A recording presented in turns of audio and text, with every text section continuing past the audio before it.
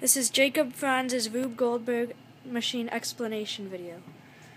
So how this whole machine works is this I will push when I push this button here the car goes down this track hits this golf ball which is being held by a screw so that it doesn't go down it'll knock it'll hit this little paddle, which knocks over these building blocks, which knock over the CDs, which will push this golf ball down, which is just held by a little piece of tape.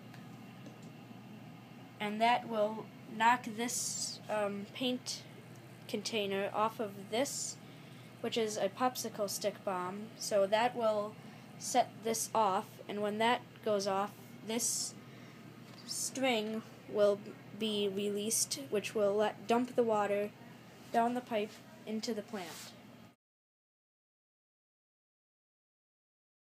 Take one.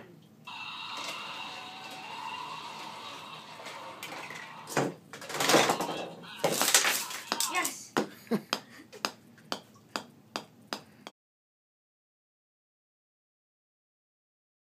Take one.